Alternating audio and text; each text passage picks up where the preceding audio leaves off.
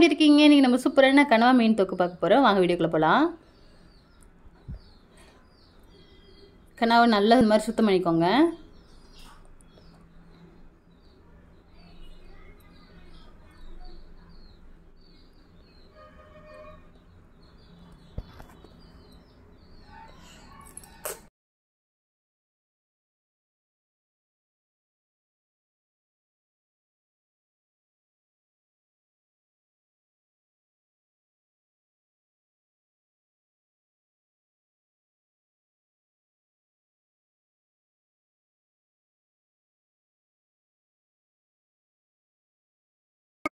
ஒரு கடாய் வச்சுக்கோங்க. தேவையான எண்ணெய் ஊற்றிக்கோங்க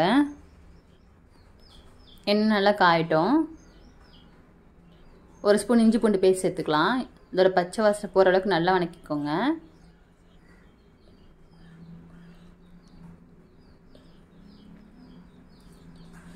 தக்காளி சேர்த்துக்கலாம். மூணு தக்காளி. அரை ஸ்பூன் மஞ்சள் தூள். தக்காளி நல்லா வதங்கட்டும். நல்லா வணக்கி விடுங்க.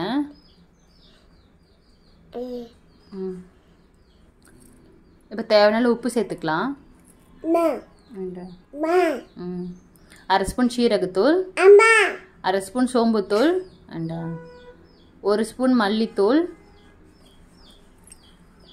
கால் ஸ்பூன் கறி மசாலா. ஒரு ஸ்பூன் மிளகாத்தூள்.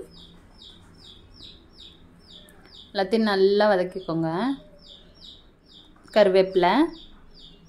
இந்த மாதிரி எண்ணெய் பிரிகிற அளவுக்கு வதக்கிட்டு இப்போ நம்ம மீனை சேர்த்துக்கலாம். இதுக்கு தண்ணியில் நீங்கள் எதுவும் ஊற்ற வேண்டாம். இதில் நிறைய தண்ணி விடும். அப்படியே மூடி வச்சுருங்க.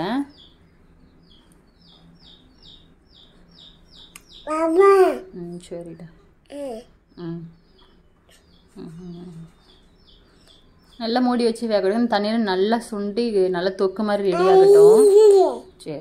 அவ்வளோதான் நம்ம இப்போ அடுப்பு ஆஃப் பண்ணிடலாம். ம் சரி. உங்களோட சூப்பரான கனவை தூக்கு ரெடி ஆயிடுச்சு. நீங்களும் உங்கள் வீட்டில் ட்ரை பண்ணுங்கள் டாட்டா!